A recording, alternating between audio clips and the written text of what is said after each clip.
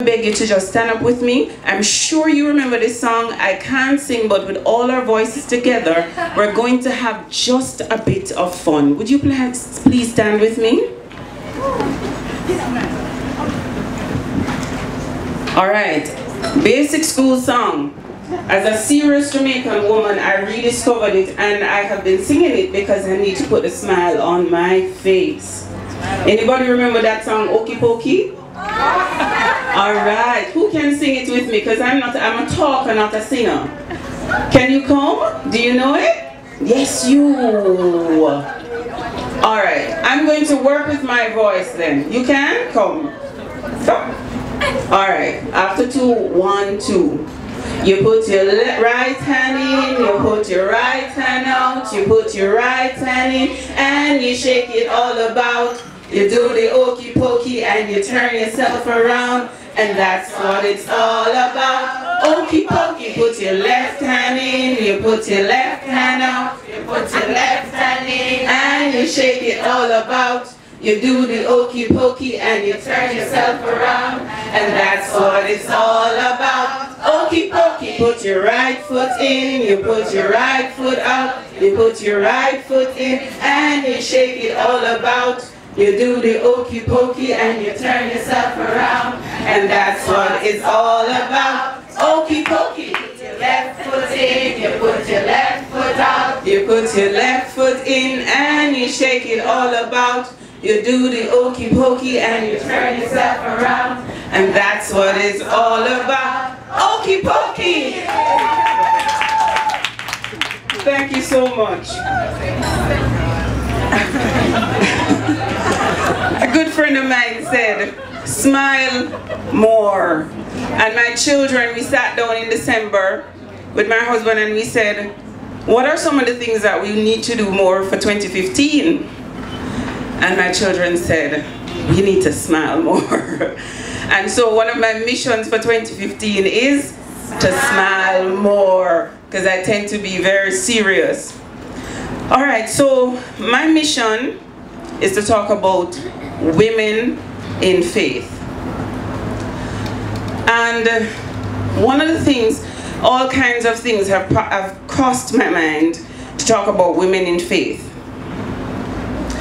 We know, whether we're Christians or not, that the Bible says that faith is the evidence of things we hope for, but we have not yet seen. And one of the things that I've discovered as a woman in faith is that if you have not got faith, you really haven't got anything. Because there are so many things that we are hoping for to become substance, and in some cases we have to wait for years. Is there anybody here who can testify? Yes. You're waiting for a house, you dreamed it long time ago, but it took 10 years, but you eventually stepped in. And for those who haven't gotten it yet, it is coming. Amen. Okay? Amen. So, one of the things when you talk about faith, for me, what is important is a dream. Quite recently, I was listening to another motivation speaker, a male, Wint, Wintley Phipps, and he's from Trinidad, but he has sung for every US president for years. I listened to him talk about his life in Trinidad, how poor he was, and had this little bicycle wheel that he would sit in his yard and dream. And he would dream that he's in all these various countries across the world. As I sat and I listened to him, I thought to myself, how many of us were really allowed to dream? As children, sometimes we're not used to getting what we dream and therefore we stop dreaming. Some of us, it was dreaming about the perfect doll. And your parents, and when you share the dream, they said, so how we going to get that money? Or there are other things in life that are more important. So after a while, some people are not used to getting what they want. So they said, why dream? But I've discovered that for us to be able to move ahead into the things that we're hoping for, there must be a dream. I've also discovered that there are many people who don't believe in dreams. I'm not here to convince you if you are not. But I want to tell you that even the counselors that are here today will find it difficult to help anyone who has issues that don't dream.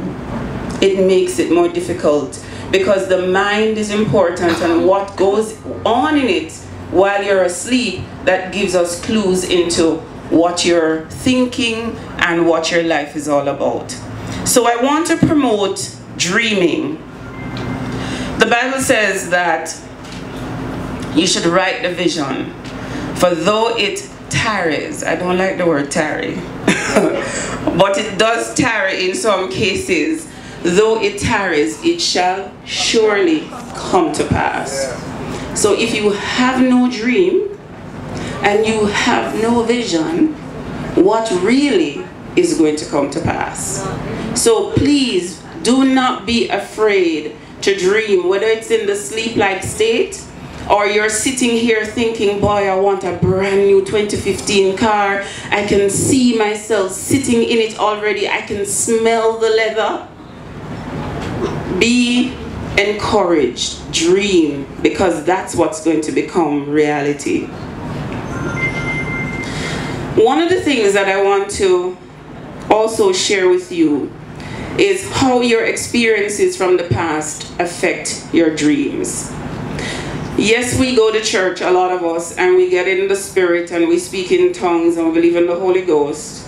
But when it's all over and you have a one-to-one -one conversation with that person, you'll find that the very things they were in the spirit about, they now no longer believe. And many times what you find is that it's the experiences from the past. We are literally walking and wrestling with all the negative things that we were told. And as I move around and I talk to people all the time, you know, I could just be paid for talking. I would be wealthy because I do a lot of it, right? People are out there struggling. How many persons were told that you're too fat, or you're too slim, or your nose not straight enough, or how comes your mom is so brown and your daddy so this and you came out this way? Or maybe you had a dream that you wanted to be a doctor and somebody said to you, so where are we going to get the money from? Or why are you so ambitious? And by saying those things, what people have done over the years, sometimes it's our own